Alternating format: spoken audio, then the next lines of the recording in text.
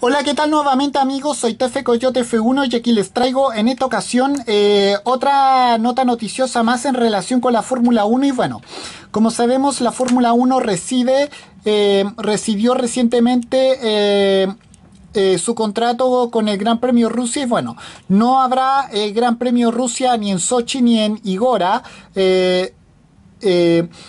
Con esto las relaciones se rompieron luego luego de la decisión unilateral de parte de Liberty Media de no celebrar el Gran Premio Rusia en esta temporada 2022 en Sochi. Bueno, vamos a hablar un poco de aquello. Bueno, bueno, cada historia posee diversas versiones y el conflicto bélico iniciado luego de la invasión de Ucrania por parte del aparto militar eh, ruso no tampoco diferente, lo que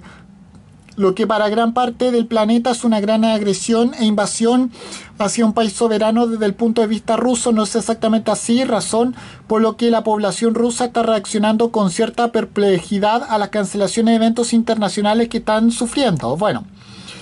desde otros eventos como Eurovisión, Euro, Euroliga, eh, la, la, la, competencia de fútbol hasta el ya mencionado Gran Premio Rusia Fórmula 1. El promotor del Gran Premio Rusia dijo no entender la postura del mundo de la Fórmula 1 cuando luego de una reunión de emergencia Liberty Media que evitó uh, hablar acerca de la cancelación, eh, afirmó que en estas condiciones no se, podía no se podía celebrar ningún gran premio en territorio ruso. Más tarde, la Fórmula 1 ya sí habló abiertamente de la cancelación aludiendo a causa de fuerza mayor luego de haberse cubierto la espalda contracturalmente hablando. Esto provocó una rotura total de relaciones entre el promotor del Gran Premio Rusia y Liberty Media que desembocó en la cancelación del contrato que unía a la Fórmula 1 y, al Gran Premio Rusia hasta el año 2025. Por lo tanto, no habrá más Fórmula 1 en Sochi, cuya última competencia va a tener lugar en este año 2022 eh, pero pero tampoco lo va a ver en, el, en un circuito que iba a ser nuevo llamado Igora Drive, el circuito situado a las eh, afuera de San Petersburgo y que iba a coger eh, a, esta, a este evento a partir del año 2023. Bueno, eh, esto fue lo que dijo de, de manera escueta en un anticipo Liberty Media.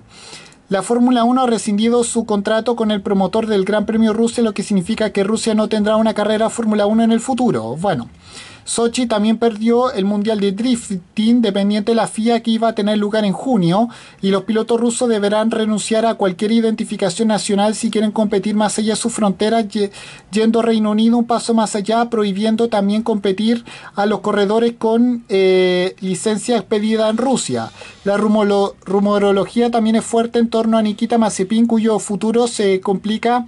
a medida que el conflicto bélico se alarga en el tiempo, eh, afirmando los últimos cantos de sirena que el equipo Haas ya había, ya había tomado la decisión de no seguir con el piloto, faltando únicamente comunicar la noticia. Bueno, de hecho ya se comunicó que no...